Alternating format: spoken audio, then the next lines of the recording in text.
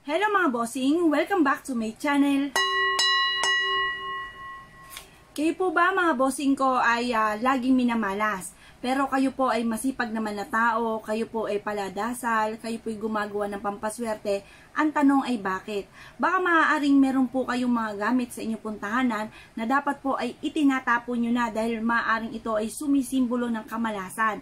Kaya ang video ito ay para po sa inyo.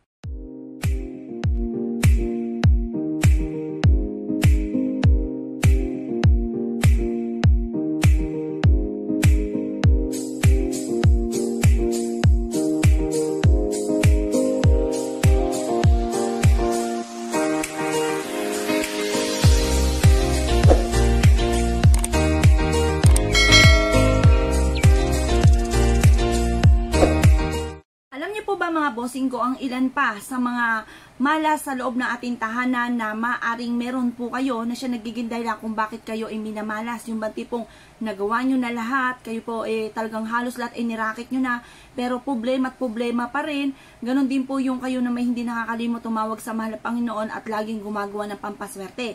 O tignan nyo po sa inyong puntahanan kung meron po nito mga bossing at ito po itapon nyo na at maaring ito ang nagiging dahilan kung bakit lagi kayo minamalas. Ngayon po mga bossing, saan po ba nakapwesto ang inyong pintuan? Yan po ba ay sa silangan o sa kanluran? Ngayon po mga bossing, ano po ang kulay ng pintuan po ninyo?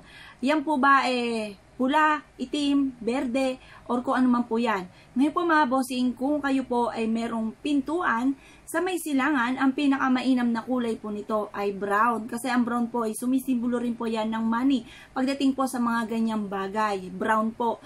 Ngayon po mga bossing ay ah, kung kayo naman ay merong pintuan sa inyo pong kanluran at kayo po ang kulay pa ng pintuan ninyo ay kulay itim, yan po ay hindi kagandahan. Negatibo po, ibig sabihin po niya mga bossing. Kasi ang kanluran po mga bossing ko ay palubog. Maaring palubog po ang inyo pong buhay at maaring may negatibong mangyari po sa inyo. Alam niyo naman po yung nilulubog. Ayan, kaya hindi po yan maganda yung itim na main door po ninyo sa kanluran. Ngayon po mga bossing ay magdudulot din po yan ng pag-aaway-away ng inyong pamilya.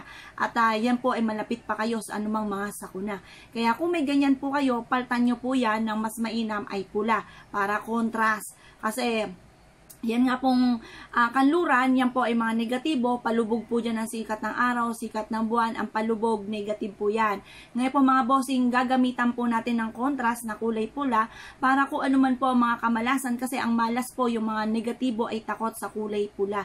Kaya tinagurian po ang pula ay swerte kasi takot po dyan ang mga negatibo. Kumbaga eh, nasasaktan sila sa kulay pula kaya ayaw nila ng pula. Kaya lalagyan po natin yan ng kulay pula na pintuan kung sa kanluran. Pero kung sa silangan, brown po ang maganda mga bossing. Ngayon po mga bossing ay kayo po ba ay meron pang iniingat-ingatan ng mga kalendaryo na luma na ang tanong ay bakit po ba iniingatan nyo pa po yan? Magtingin-tingin po kayo dyan sa inyong pintuan. Baka yan po eh, may mga nakasabit pa sa mga gilid ng aparador po ninyo or sa mga pintuan po ninyo or kung saan po, niya, kung saan po kayo nagsasabit ng mga kalendaryo. Ay baka pinatong-patong niya, may bago kayo pero may nakapatong na luma. Or kaya tinakluban nyo laang eh ang luma ay hindi pa rin tinatapon.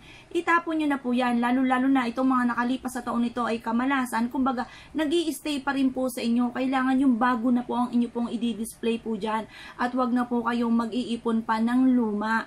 Ngayon po mga bossing, kayo po ba ay may mga orasan? na mga sirana or kaya ang inyong orasan ay hinahayaan ninyong nakadisplay pero hindi ito naandar.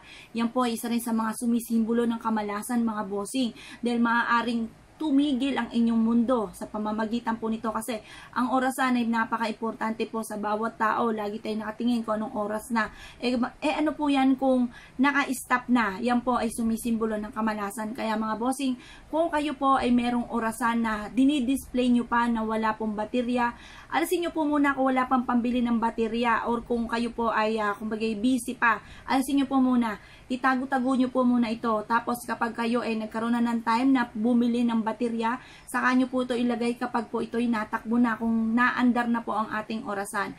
At ah, kung yan po naman ay may basag na, may yung halimbawa namang naandar yung orasan ninyo at may basag, hindi rin po maganda na naglalagay ng may basag. Kumbaga sa isang pamilya ay nagkakaroon ng lamat, paghihiwalay ng isang pamilya. Kaya alsi-alsin nyo po yan mga bossing. Mas mainam na yung ating orasan, bagamat hindi naman bago, pero naandar, yan po ay yun ang pinakamaganda kapag po kayo ay may orasan ng mga may basag or may sira or kaya po yan ay hindi na naandar, ipagtatapon nyo na po yan mga bossing. Ngayon po mga bossing, ganun din ang paggamit ng mga pinggan, ng mga may lamat at mga baso. Ito po ay sumisimbolo rin ng ah, paghiwalay ng isang pamilya. Kaya mainam na wag po kayong maglalagay ng ganyan dahil maaaring maganap ito sa inyo pong pamilya. Yung mga basa at may mga basag na yan ay hindi po yan mainam. Kaya kung kayo po ay may mga ganyan na aking mga nabanggit, mainam na pagtatapon nyo na po ito or palitan nyo na po siya. At ito po ay ah, nagiging dahilan kung bakit lagi po kayo ay minamalas. Yun lang po guys, salamat po sa panonood and don't forget to subscribe my channel. Salamat mga bossing!